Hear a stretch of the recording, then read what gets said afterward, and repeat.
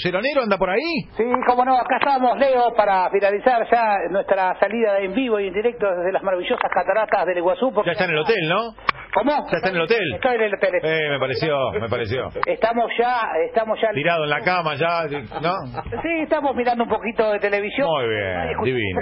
Es la hora ideal además, ¿no? Sí, pero estamos preparándonos, Leo, porque dentro de un ratito nada más, a las 21 horas, está el cierre de, de esta edición número 5 de la Semana Gastronómica de Puerto Iguazú, acá en uno de los hoteles más prestigiosos que tiene Iguazú. Va a ser el cierre donde se van a entregar los premios de esta semana culinaria, así que estamos preparándonos para ir allá y comer rico como siempre, ¿no? Divino, divino, espectacular lo suyo.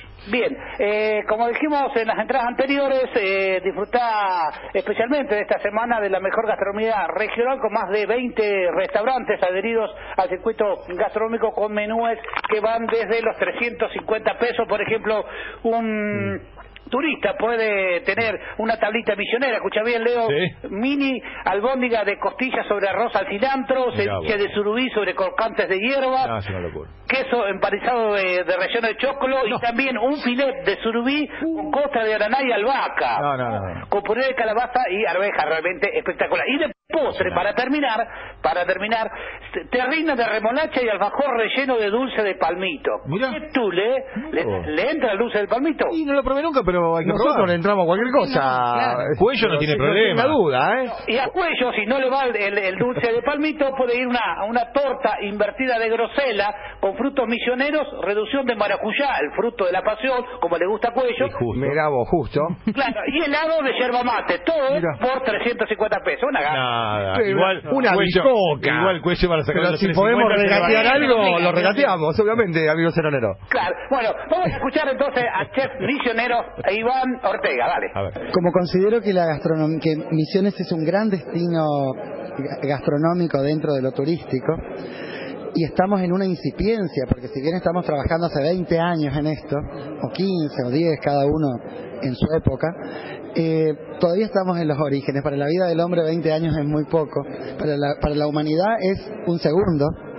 Y entonces elaboré una entrada que fueron unas croquetas hechas con una masa de mandioca y rellenas de pacuí vegetales, sobre un espejo de crema de maíz, hojas verdes, agreta de guapú, que es una fruta del monte, elaborada con aceite de maní, otro aceite característico de nuestra región, pese a que no se fabrica más, y unas falsas perlas de reviro y albahaca. Y luego elaboré un postre que fue una oda, una profusión, una abundancia, una exageración de maní, que fue un pavé, es decir, un adoquín de tres sabores. Maní en dos texturas, es decir, maní rústico con presencia del elemento, maní liso, es decir, procesado, y una mousse de moras, todo esto sobre un espejo de rapadura, que es nuestra gran golosina este, de, de tantos, tantísimos y cientos de años elaborada en Misiones. ¿Cómo está viendo el desarrollo del plan cocinar? Lo estoy viendo espléndidamente bien.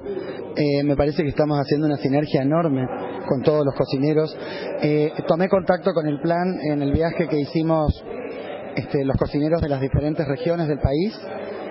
Digo bien, eh, a Madrid. Nos encontramos primero en Fitur, luego en Madrid Fusión y a partir de ahí incluso creamos un grupo de cocineros argentinos de regiones. Veo al plan cocinar como un gran plan integrador y muy positivo para la gastronomía. ¿Hay una nueva cocina argentina?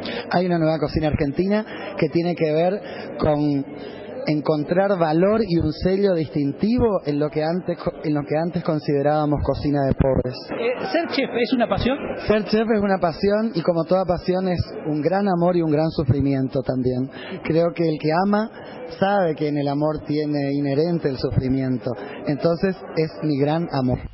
Bien, ahí la palabra de. Eh, Es un gran- una gran pasión y un gran sufrimiento. Yo no sufrí para nada, Leo. No, me imagino que no. Esto, eh, porque comí y he comido y todavía voy a seguir comiendo entre hoy y mañana que vuelvo a Buenos Aires. Sí, sí, por favor, no sé, para el chef será sufrimiento que tendrá que cocinar, pero para nosotros que estuvimos ahí realmente fue un día espectacular. Además hicimos eh, gran paseo por, por las cataratas del Iguazú, paseo Gran Aventura, el paseo Aventura Náutica, paseo ecológico. Como verán, no nos privamos de nada aquí en las maravillosas cataratas del Iguazú, Leo. Gran abrazo, Ricardo. Nos encontramos el sábado. Para todos. Ahí está. Abrazo, Ricardo buena.